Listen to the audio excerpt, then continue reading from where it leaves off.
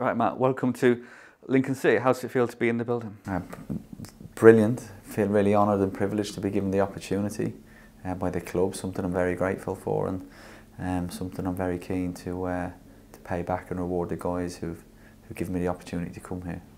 Why was the head coach role here at the Imps something that you wanted to go for?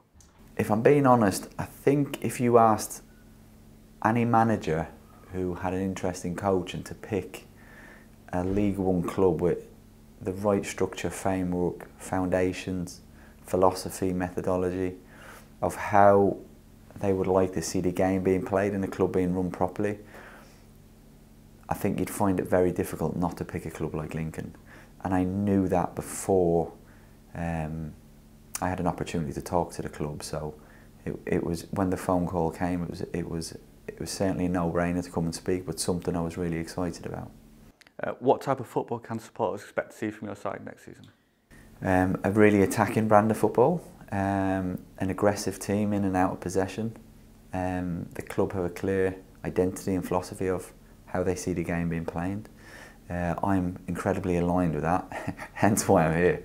So uh, we, we want to continue that and uh, we want to give a brand of football that the club is proud of, that our fans can identify with and, um, and, and make it attractive to all. Uh, could you perhaps run us through a little bit of your coaching journey so far? Yeah, I've been coaching for 10 years now. Um, I was I was quite fortunate in my first role. I, I was offered a first team job.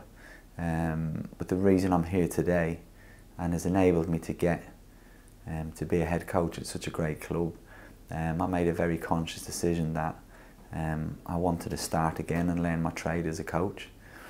Um, realised that I was at the wrong end of the spectrum coaching as a first team coach, having not coached before.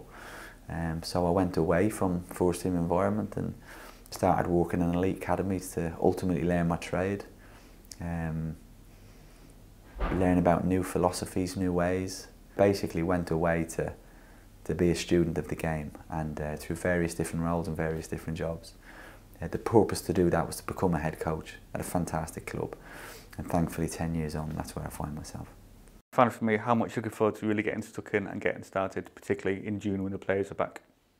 Um, yeah, it's it's kind of frustrating that it, it's happened at a period where um, you, all you want to do is get out on the grass, meet the players, uh, meet, the, meet, meet, meet the staff, meet the outer staff, uh, most importantly meet the fans and become part of uh, what a great environment you have. So that side of things will be a little bit frustrating, but that time will come. So incredibly excited, but it also gives us an opportunity to carry on uh, the fantastic planning that's been put in place already. So when we do come back in the first day of pre-season, uh, we can hit the ground running.